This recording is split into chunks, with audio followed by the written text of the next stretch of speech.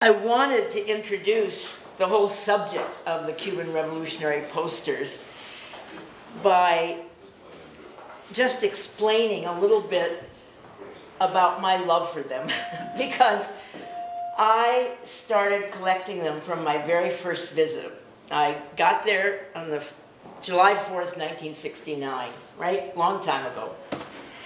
And the very first poster that I saw and ripped off the wall was Good thing you went yes, I, you know, I don't think I would do that now, but I was so excited to see a poster just kind of sitting there on the wall and not asking for anything that I I ripped it off, you know. and I mean, our posters have been borrowed by museums in Germany, in Italy, in Argentina, in Brazil.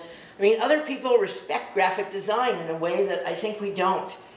And, you know, my dream has always been to put together a book that tells the story of the Cuban Revolution from the beginning to now through posters. Because every important step of the Cuban Revolution is here. It really is.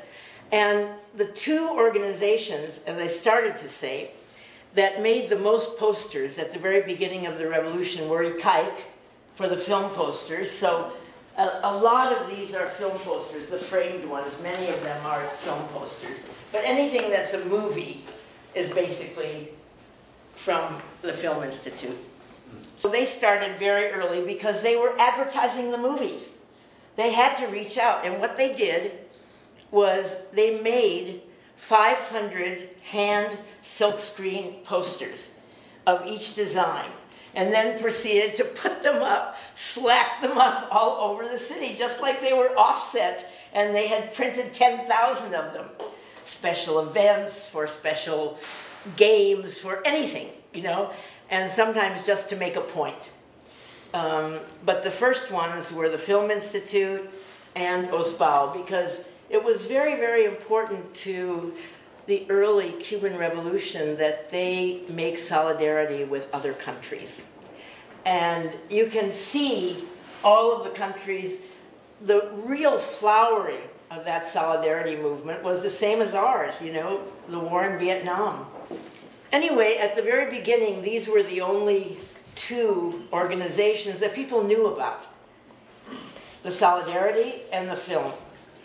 But as I started to travel around Cuba, which was from the very first instance, I saw that in every town, city, little pueblo, people made their own posters and they put them up for whatever event. So this grew into a recognition, I think, by the propaganda offices of the Central Committee of the Communist Party, and they started hiring graphic designers to push their agendas